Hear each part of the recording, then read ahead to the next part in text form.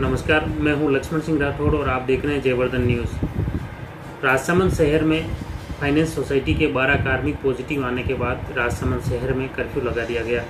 कांकरोली क्षेत्र में उसके संपर्क हिस्ट्री वाले करीब 200 से ज़्यादा लोगों के चिकित्सा विभाग द्वारा जाँच के नमूने भिजवाए गए हैं। इसमें से करीब एक सौ बासठ लोगों की जाँच रिपोर्ट नेगेटिव आई है। पहले जिस तरह से एक साथ बारह कार्मिक पॉजिटिव आए, उसके बाद ये आशंका जताई जा रही थी कि भीम की तरह ही कांकरोली में भी बड़ा विस्फोट हो सकता है।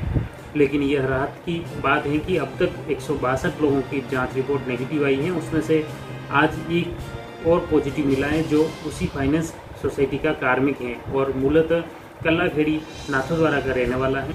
आपको बता दें कि जेके मोड़ JK circle, JK colony, Jalchakki, Madri, Kelwa, Mukherjee Chaura, MD Bhatoli Bhana housing board, Dhoinda, Gowalia Bhilmangli तक जो जितने भी नमूने भेजे गए थे, उसमें से एक सौ बासठ की जाँच रिपोर्ट नेगेटिव आई है। अब तक करीब 100 लोगों की जाँच रिपोर्ट आनी बाकी है।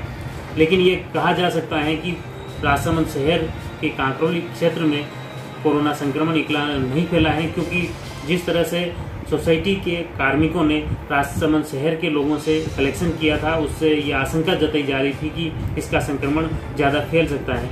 लेकिन ये राहत की खबर है कि आज सुबह भी सिर्फ़ एक ही पॉजिटिव मिला है। वो भी उसी सोसाइटी का कार्मिक है जो कलाखेड़ी का रहने वाला है।